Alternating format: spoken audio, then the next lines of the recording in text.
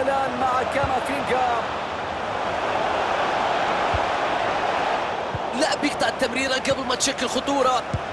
فينيسيوس جونيور حاول التسجيل مرة أخرى.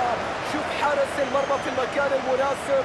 تصدى لهذه الكرة. تدخل غير سليم يستحق بطاقة في رأيي يا الله على التدخل. هكذا يكون وإلا فلا.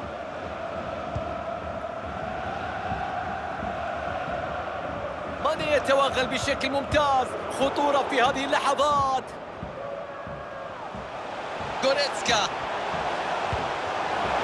ساديو ماني. كرة لساتيو. فيها خطورة. ضربة جزاء لبايرن ميونخ. صدر القرار هنا بإخراج بطاقة صفراء. الحكم إذا رأت بأنها تستوجب إشهار البطاقة بجانب احتساب الركلة. وأنا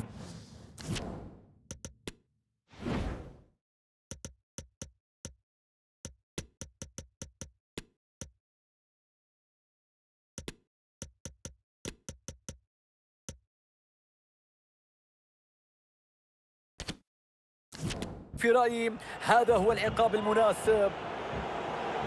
تبديل هنا في صفوف ريال مدريد.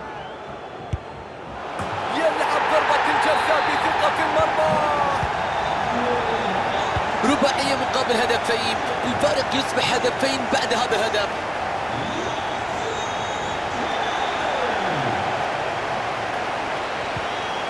هذا دفاع مثالي داخل ال 18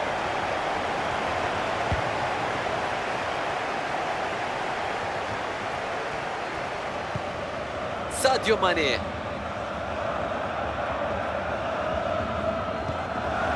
جوشوا كيميتش. بتروح لجمال موسيالا. كيميتش. ساديو ماني يشكل خطورة بتقدمه. ما زال يبحث عن المساحة. فرصة متاحة للتسديد. الطاير يسجل الآن. حطها في المرمى. كرة ولا أروع. الله عليك. هدف مذهل من لاعب مذهل. في نهاية مذهلة. رودريجو. أوهو. حلوة. خطرة. الكرة تعود إلى الخصم. ما زال البحث عن تمريرة تصنع الفارق. فينيسيوس وفيها خطورة. هدف تقليص الفارق لكن التوقيت متأخر جدا.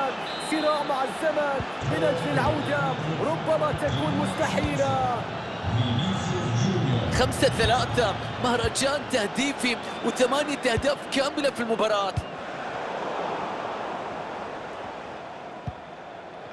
لوكا مودريتش. تشاوميني. الآن مع فالفيردي. تدخل ممتاز لقطع الكرة. نلعب الآن في الدقائق الست الأخيرة من عمر المباراة.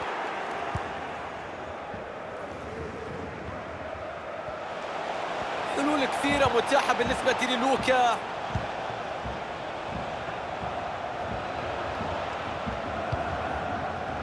يتمكن من اعتراض الطريق.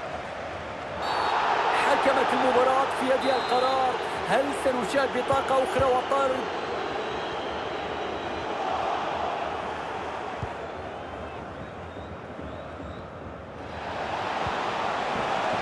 وانطلاقة واللعب في مكان سليم بعد كرة بينية ممتازة.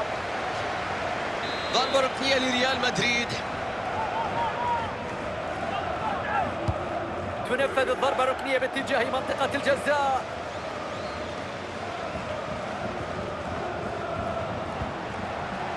دقيقة واحدة فقط تفصلنا عن نهاية الوقت الأصلي. صفرة نهاية المباراة مشاهدينا. وريال مدريد يخسر المواجهة. أداء سيء. خسارة مستحقة للمرينجي في هذا اللقاء.